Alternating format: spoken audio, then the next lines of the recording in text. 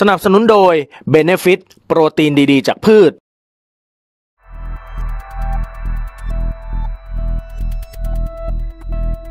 ที่พักเพื่อไทยกลุ่มแท็กซี่สุวรรณภูมิและคนเสื้อแดงจากหลายจังหวัดอาทิ กรุงเทพมหานคร สมุทรปราการปทุมธานี นนทบุรี สิงห์บุรี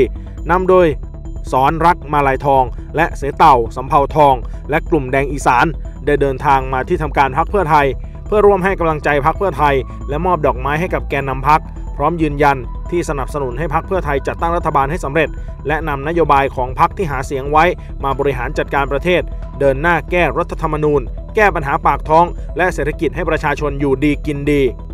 และในวันเดียวกันนั้น กลุ่มมวลชนอิสระได้เดินทางมาที่ทำการพักเพื่อไทย เพื่อแสดงออกเชิงสัญลักษณ์ ด้วยการนำเสื้อรูปภาพ หนังสือ อุปกรณ์ที่ใช้ในการชุมนุม เมื่อปี 2553 มาเผา เนื่องจากไม่พอใจในการจัดตั้งรัฐบาลของพรรคเพื่อไทย ที่มีพรรคขั้วรัฐบาลเดิมมาอยู่ด้วย โดยผู้ทำกิจกรรมระบุว่าตนเองรู้สึกผิดหวัง กับการจัดตั้งรัฐบาลของพรรคเพื่อไทย ที่ไม่ยึดมั่นในหลักการ ไปจับมือกับขั้วรัฐบาลเดิม จึงมาแสดงออกด้วยการเผาของที่ใช้ในปี 2553 ออกจากคุกออกจากตารางทั้งหมดล้างคดีความที่เกี่ยวข้องกับทางการเมืองให้ประชาชนทั้งหมด แล้วให้เขาได้กลับไปสู่อ้อมกอดอันอบอุ่นจากครอบครัวของเขาพ่อแม่ ลูกเมียของเขาอย่าง สมบูรณ์พร้อมออกกฎหมายเยียวยา ทุกสีทุกกลุ่มทุกคนที่ติดคุกติดตารางให้ไปเริ่มต้นชีวิตใหม่สามฝากรัฐบาลใหม่พิจารณา ร่วมมือกันทุกฝ่ายเห็นสมควร แก้ไขรัฐธรรมนูญรายมาตราที่ยังมีปัญหา แก้ให้สังคมทุกฝ่ายยอมรับเป็นไปตามที่สังคมยอมรับและจัดตั้ง เพื่อให้พี่น้องประชาชน ได้เห็นพ้องต้องกัน มีกติกาที่ทุกฝ่ายยอมรับ แล้วถ้าเห็นสมควรก็จัดตั้ง และยุบสภาเลือกตั้งกันใหม่ ประชาชนเชื่อมั่นพรรคเพื่อไทย จะทำเพื่อประโยชน์สุขของพี่น้องประชาชนคนไทยทั้งประเทศ พวกเราวันนี้จังหวัดปทุมธานี จังหวัดสมุทรปราการ จังหวัดจันทบุรี และอีกหลายจังหวัดที่เดินทางมาในวันนี้ พร้อมที่จะยืนเคียงข้างพรรคเพื่อไทย และทุกๆพรรคที่เสียสละถอยหลัง ไม่ทะเลาะไม่อคติต่อกัน ยุติม็อบยุติรัฐประหารทำเพื่อประชาชนอย่างแท้จริง พวกเราประกาศจุดยืนยืนเคียงข้างพรรคเพื่อไทยตลอดไปครับ ครับตอนนี้เราก็จะมอบดอกไม้พี่น้องหลาย ๆ คนมาเนี่ยแล้วก็มีการยื่นหนังสือข้อเรียกร้องเนี่ยผมคิดว่าเป็นเรื่องที่เป็นประโยชน์ต่อประเทศชาติ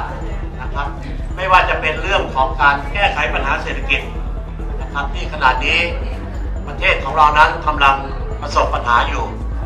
ไม่ว่าจะเป็นการแก้ไขปัญหาเรื่องวิกฤตรัฐธรรมนูญนะครับซึ่งหลายฝ่าย มองว่ารัฐธรรมนูญนี้ควรจะได้รับการแก้ไข หลังจากที่พรรคเพื่อไทยได้มีโอกาสจัดตั้งรัฐบาลเรียบร้อยแล้วนะครับ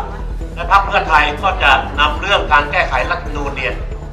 เป็นวาระแรกในการประชุมคณะรัฐมนตรีเลยนะครับ ส่วนเรื่องการที่พี่น้องประชาชนไม่ได้รับความเป็นธรรมนะครับจากเหตุชุมนุมการเมืองหรือเรื่องอื่นก็ดีนะครับ ก็จะเป็นเรื่องที่พรรคเพื่อไทยต้องนำไป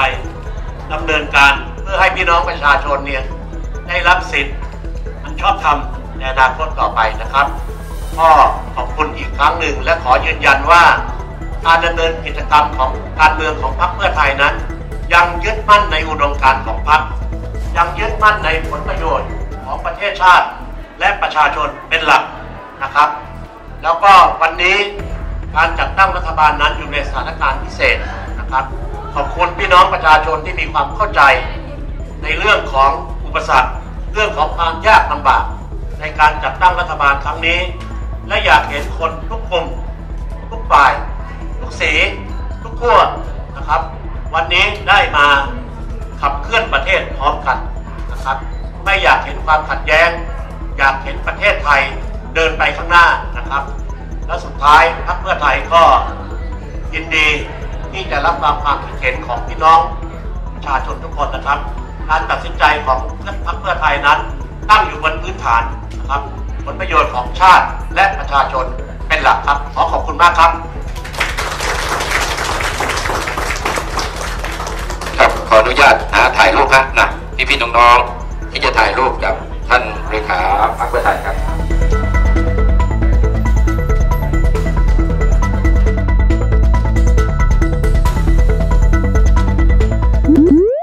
และว้าว ใหม่ล่าสุด ใครอยากส่งกำลังใจให้ทีมข่าว Bright TV ปุ่ม Super t h a n k หรือปุ่มขอบคุณ ฟีเจอร์ใหม่ของทาง YouTube ได้ทางด้านล่างขวามือ Bright TV ขอบคุณค่ะ